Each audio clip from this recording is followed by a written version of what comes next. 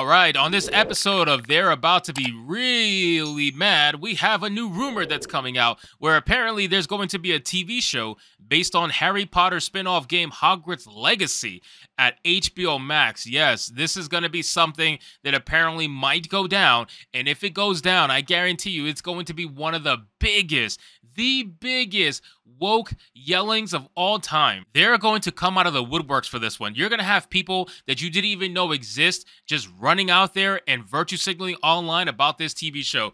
If it's true, I don't know. Like I said, it is a rumor. We're not exactly sure if it's going to happen, but we have an article from Bounding into Comics that goes into it a little bit more. So let's talk about it. It says controversy creates cash, including manufactured controversy. Hogwarts Legacy, the prequel fantasy game spun out of Harry Potter books and films, gets a cold reception from a segment of critics who now despise creator J.K. Rowling, but it's doing well sales wise with gamers, regardless of the platform. Some of them became Harry Potter fans overnight, eager to catch up on their reading and movie viewing. Warner Brothers must be paying attention and seeing an opportunity as the trusted and reliable sources of Giant Freaking Robot, a source for all kinds of exclusives, says a Hogwarts Legacy based series is in development at HBO Max in very early development at that. The series is still in the early phases of development, so few details are available, they say. Now, again, it's a rumor. Take it with a grain of salt. We don't know if it's actually factual. But the thing is, I could see this happening. I could absolutely see this happening. Because, listen, number one, Last of Us has a recent uh, depiction that obviously was, you know, adapted by HBO Max and was fairly successful up until they told people if you don't like it, don't watch it.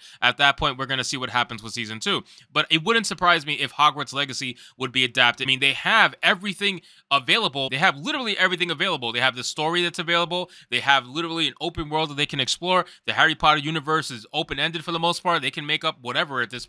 And J.K. Rowling would most likely be involved with the TV show versus the actual video game. But I promise you, if they are going to come out with this TV series, it is going to be an absolute woke disaster in the sense that you're going to have people coming out from the woodwork uh, who are extremely woke and they're going to try their damnness to take this TV show down. And I guarantee you, here's the funny thing they're not going to be accused of review bombing. They will review bomb the show, but they're never going to be accused of doing so. It only ever seems to go the other way. I don't really know why that is, other than, you know, the obvious. But let's see what else it has to say regarding this. So it says, it's presumed, though the series will be like the game and take place in the 1800s before either the adventures of Harry or Newt Scamander of the Fantastic Beasts series, it's the hot-selling open-world release. Players control a student at Hogwarts of Witchcraft and Wizardry who has an exceptional, however untapped mastery of ancient magic. Released for PS5, Xbox Series X and S, and PC on February 10th, it sold a very strong 12 million units to rake in an impressive 850 million globally in just two weeks. That is WB Games' biggest launch ever, and the releases for PS4, Xbox One,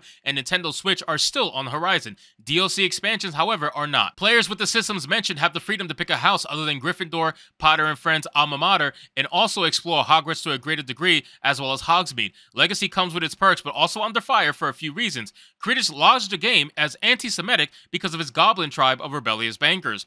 Now, again, we, we went into this whole drama about Hogwarts Legacy. We were one of the first people to stream Hogwarts Legacy. We beat it. We had a lot of fun. It started the whole Adventures of a Bigot series. I have no regrets about Hogwarts Legacy. It's a fantastic, fantastic game with a great story from beginning to end with massive amounts of detail, the likes of which only a Harry Potter true fan is going to truly appreciate. But even if you're not a Harry Potter fan, you could definitely appreciate the love that went into crafting that particular game. But the problem is, you have a lot of people who are a huge, huge vocal minority on Twitter or online in general that want to come out and pretend like this game is controversial when it's really not. The only people who find it controversial are the controversial people themselves. They're the ones causing the problems, they're the ones causing the ruckus, and they have no other reason to in, in, to enter this space other than to cause issues for everybody else trying to enjoy themselves. So as a whole, the game is amazing, and I highly recommend if you haven't played it to go pick it up. Uh, that's without a doubt. But it, it all this complaining from the woke people is not going to stop the game from succeeding. Obviously, the game's almost at a billion dollars, and we haven't even touched the other markets yet. So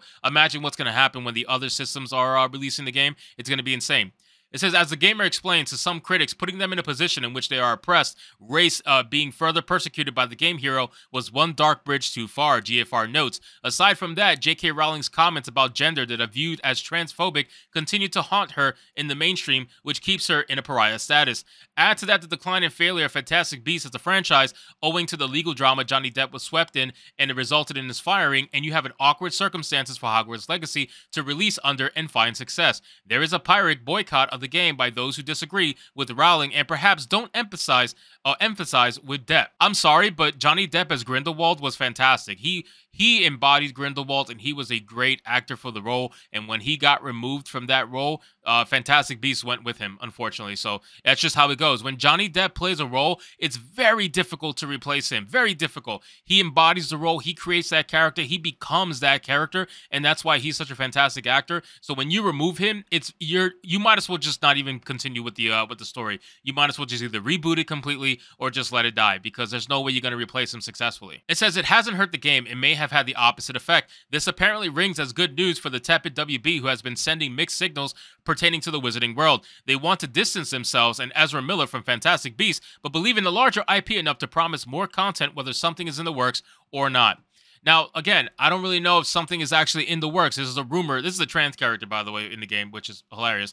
Um, I don't really know if it's really going to happen or not. It is a rumor at the end of the day, and it's something that you have to take with a grain of salt. But again, would it surprise anybody if if this was made into a TV show? Absolutely not. You can make multiple seasons based off the story that's found within Hogwarts Legacy. Hogwarts Legacy itself is such a vast and open world game. It really is. And the stories, you have a bunch of side quests that actually have good stories to them. They're not just meaningless side quests. I mean, there are some of those, but most of them are actually pretty meaningful and they provide good story and good context. And they also teach you spells and whatnot, so you have to do them. And the characters are actually very interesting, like Sebastian in the background over there. Very interesting characters. So can you make make it into a TV show? Absolutely. You can get a few seasons out of Hogwarts Legacy all day long, and the setting would make sense. It would be something fun to explore, I think, for basically anybody, even not not necessarily just Harry Potter fans as a whole, but anybody. Anybody will be interested in seeing this go down, obviously, because the game has sold so many copies, and we haven't even touched the previous gen market yet. So once we do that, the game is going to make over a billion dollars very easily. We're not even talking DLC,